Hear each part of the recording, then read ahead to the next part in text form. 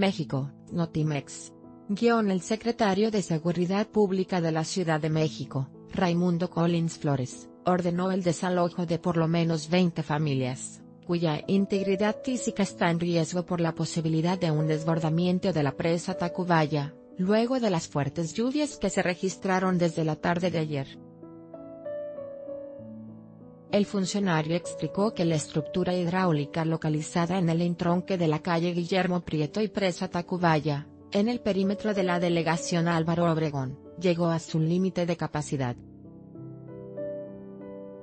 Dijo que en el lugar se dispuso de personal calificado adscrito a la policía ribereña, con el apoyo de una lancha Doudia que se coordinó a los uniformados de la SSP con elementos de protección civil, toda vez que había varias personas en los techos de las viviendas, dado que el nivel de la presa llegó a los 3 metros de altura.